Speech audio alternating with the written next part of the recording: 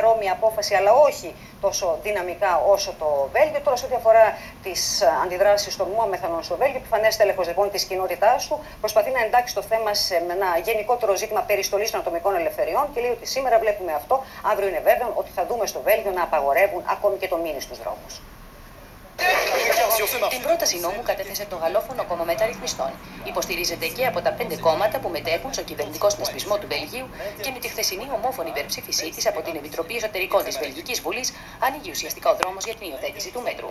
Στο στόχαστρο μπαίνουν η Μπούργα και τον ΙΚΑΠ, δύο Ισλαμικές ενδυμασίες που καλύπτουν το πρόσωπο και το σώμα, η χρήση των οποίων θα απαγορευτεί ακόμη και στον δρόμο. Εξαιρέσεις προβλέπονται για τις εορταστικές περιόδους με την έγκριση των δημοτικών αρχών όσο και τους παραβάτε, θα τιμωρούνται με χρηματικό πρόστιμο έως και ποινή φυλάκισης 7 ημερών. On vit dans un pays cosmopolite, hein, et il n'y a pas de raison pour, euh, pour laquelle on interdit. C'est quelque chose de contre la, la liberté des, et les droits de l'homme που είπα ακόμα σαν εξαγερέ, κολλά μπουρκά, πιλ φούλα, ψταπτή, λα ρολουγιόν, σι. Απορρίπτοντας τις κατηγορίες για Ισλαμοφοβία, οι υποστηριχτέ της απαγόρευσης της μπουρκας αντιτείνουν ότι το μέτρο άπλεται μεταξύ άλλων και της εσωτερικής ασφάλειας στη χώρα. Il est clair que de voir des personnes masquées en ville, un certain nombre de braquages de personnes qui portent ainsi la burqa, ça ne va pas. Le deuxième axe.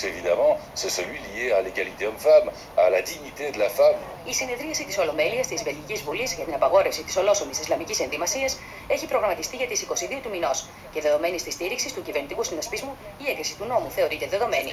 Κάτι που σημαίνει ότι το Βέλγιο θα γίνει η πρώτη ευρωπαϊκή χώρα που απαγορεύει την Μπούργα διανόμου, ανοίγοντας πιθανόν τον δρόμο και σε άλλα κράτη για την υιοθέτηση ανάλογων μέτρων.